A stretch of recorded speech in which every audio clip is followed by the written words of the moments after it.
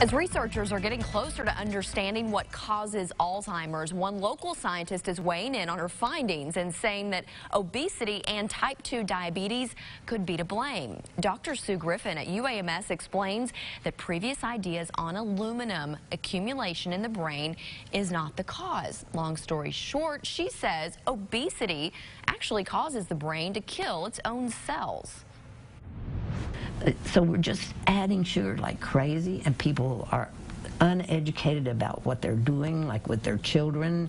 People now, nobody drinks water.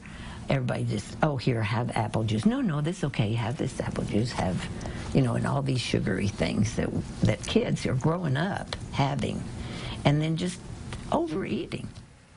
She says diet fads are too hard for people to stick with. Instead, she says to be mindful of what you eat and cut down on your portion sizes.